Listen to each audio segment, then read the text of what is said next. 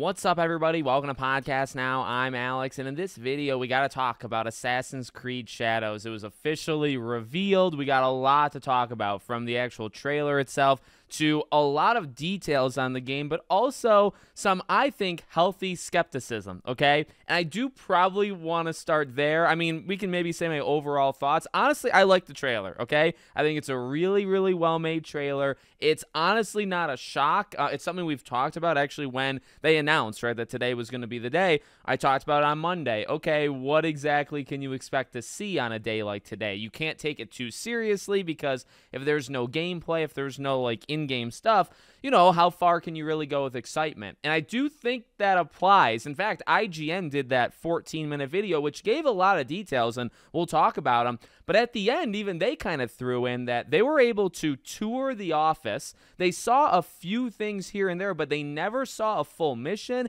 and they weren't allowed to play it. So I guess what I'm saying here is I need to see more. Beyond anything else I'm going to say as this video goes on, you've got to, and they're going to. It's not like, you know, they're to hide this until the day before it comes out. But I need to see gameplay. The number one, see all of the things that they talked about today in action. But number two, just to see it, just to check everything out and make sure that uh, it passes the eye test, at least for me, okay? So I do think that's important. And what I said on Monday, I think still applies here. Like the trailer was great. I really liked the visual style. Um, you got a little bit into the the history of it. I even looked up some of the history on like Yasuke before uh, I watched the trailer, and, and I will say like one of the things I read about him was being like so big and strong, right? And then you see the trailer, and it's like okay, they're very much leaning into that one. They are definitely going to take historical liberties, you know, with what happens with him. But to be honest with you, and to be fair, a lot of his life, even in the years that you know, from like 79,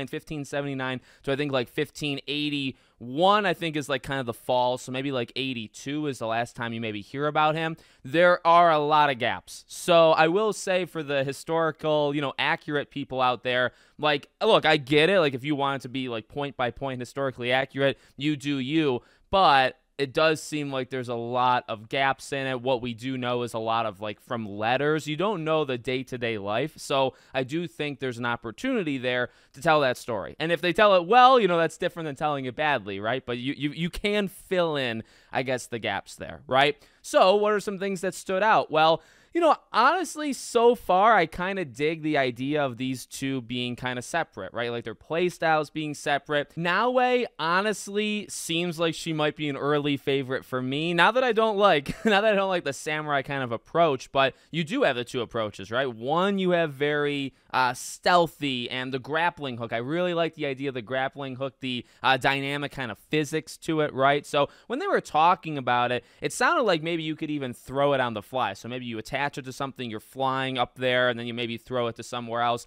They talked about being able to do takedowns from it. I think it was revealed from IGN later that uh, not all takedowns have to be like uh, eliminations, let's say for YouTube. You can do like pacifist routes, basically. There was, again, quite a bit actually revealed today, not necessarily in the trailer, but IGN did like a 40 features breakdown, and then they did like a 14 minute interview. A lot of those things cross over, but you got a good amount of details of the weather, how the weather impacts things. I love the sound of the weather, uh, the dynamics of it. So in the summer, there's going to be trees and they're going to have leaves on them. There's going to be grass, the ability to hide there or a pond, right? Say in the summertime, but in the wintertime, that pond is now ice, or the trees don't have leaves on them, so you can't hide in the trees anymore. But maybe you can hide in snow now. Uh, if it rains, the enemies are going to go towards uh, shelter, basically, right? They're not just going to stand out there in the rain. They also mentioned in the snow, they'll kind of congregate around uh, fire, right? So you can uh, new routes basically open up to you. I like the sound of it. Like a lot of what they pitched to me today does sound cool, and I just kind of need to see it in action, right? Because they also talked about the gameplay, the actual fighting, let's say, right? So you have the samurai being a, a little bit more heavier, actually a lot heavier, right? And he's kind of expected to just go, you know, barreling down. So if you're entering a castle or whatever, he's expected to kind of just walk through the front door. He can do stealth, but not really all that well. So you're going to actually want to just go in there. They talk about armor, that armor will degrade and you, you can break armor. And in the trailer, you see him breaking weapons and breaking armor, so you can kind of get that uh, a vibe, I guess, from the trailer anyway. But he can do that, and he's going to be more attack heavy, more just more heavy in general, whereas Naoe is going to be more in the shadows. Even though they both say, or he says, uh, you know, we live in the shadows at the end of the trailer, he most certainly does not, you know, live in the shadows. But a few other things that stood out to me as well. They talk about the spy system. That sounds really cool. Uh, going back to like Brotherhood, right, where you're going to be able to recruit people. And the way they talked about it, right, is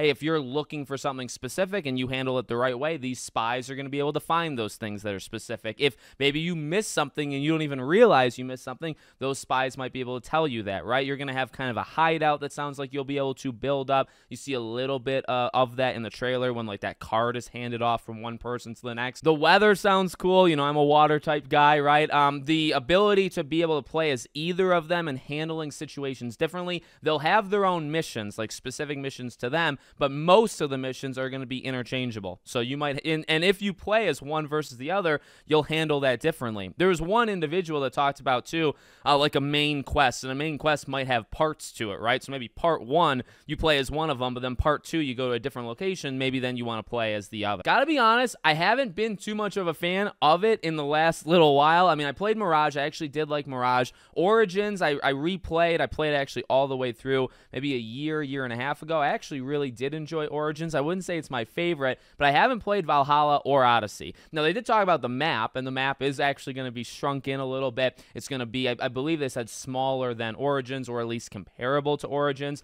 They talked about because of like the shrines and the temples and things like that, they take up a lot of space. So maybe it'll actually, it might be similar size to Origins, but it might actually feel smaller because the I, the buildings or whatever you want to call them are they're going to be bigger and take up more room. I'm fine with that. I actually prefer that. Um, I don't need. I know some Assassin's Creed games have been like 100 hour plus things. I don't need it to be that if they don't want it to be. Right. I do want to throw in one huge negative that actually uh, a follower of mine on Twitter mentioned, and then I looked it up, and I think like ResetEra and other people were talking about it. This is bad. And I will say that in terms of the entire thing, there is skepticism in terms of you need to show off what you're talking about, and you're only going to have so much belief or excitement from people until you show it off at Ubisoft Forward, right? In just a few weeks, so it's not too much of a wait. But it has been spotted on PlayStation that online play, you're going to need to be uh, an internet connection, basically. No, thank you. No, thank you. It's got to be because of Assassin's Creed Infinity, right? Which is going to be that live servicey uh, subscription service type model thing.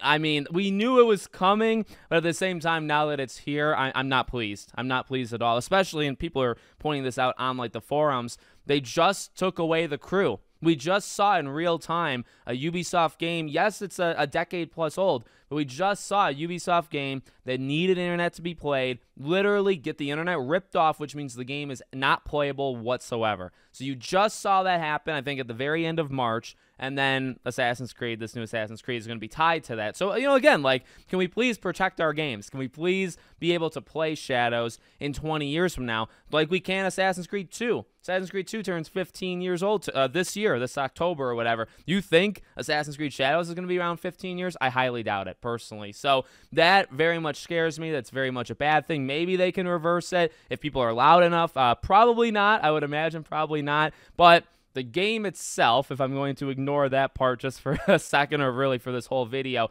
no, there's a lot of promise here. Truly, that would probably be my overarching, you know, opinion on this. A lot of promise. I think they pitched it honestly pretty good. I'm excited about basically the dynamics of things, like how they pitched that specifically speaks to me. I just need to see it in play. And maybe I should try out Valhalla or Odyssey before I get to this. But, you know, again, like I like Mirage, I like Origins. I feel like I'll be able to, if I can actually embrace it, if I can give it more than 10 hours of my time, I think I probably will like this game. But we'll see. You know, they got a lot to prove uh, at the Ubisoft Forward event. So I'll be covering that. We'll see what the game actually looks like when we get into it. But let me know what you guys think in the comments. Make sure, as always, you're subscribed to the channel, bell icon turned on, and I hope to see you all on the next one.